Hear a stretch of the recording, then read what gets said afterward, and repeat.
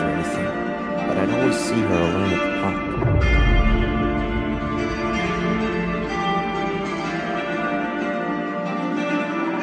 That night at the park was the last time I saw her.